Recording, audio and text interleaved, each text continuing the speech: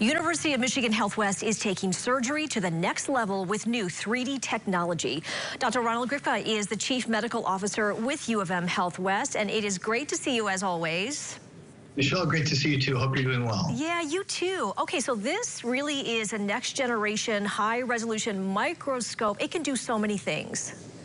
Oh, we're very excited about it. I mean, it's a microscope, it's a lens, and it's a big uh, uh, UV light that we can use to see brain tumors that has really uh, revolutionized uh, it's really brain surgery, and I'm sure will be expanded to other surgical procedures very soon. And this really obviously such a benefit to the patients, but is a game changer for the team of surgeons. Talk about that a little bit. Oh, certainly. If you can imagine, you know, when we're doing brain surgery, there's just a small little area they're looking into the brain to operate.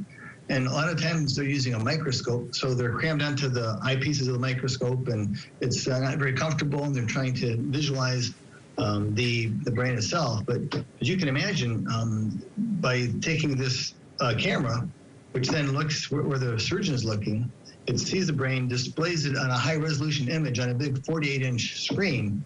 So not just can the surgeon see it, but the anesthesiologist can see it, the nurse who's assisting the surgeon, the scrub technician, everyone in the room, students, uh, other learners, they can see exactly what the surgeon is seeing as opposed to the surgeon is just trying to look into that little piece, trying to see something by him or herself.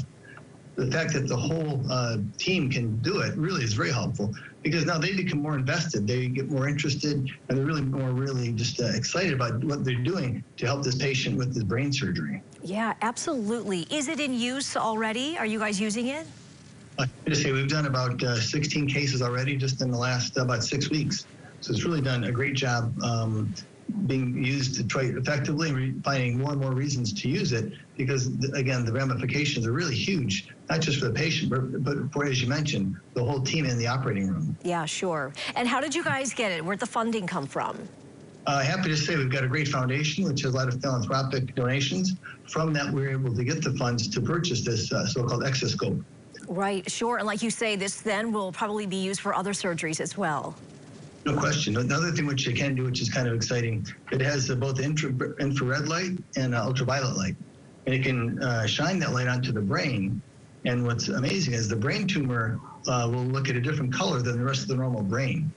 So now that they see the tumor much more clearly, they can operate, get clean margins so they make sure they get all the tumor, but again, not taking excessive amount of brain tissue that's normal tissue, really, again, giving the patient a much better operation, much better long-term outcome. Yeah, well, incredible. Like we said earlier, game changer. Dr. Grifka, always great to see you. Thank you so much.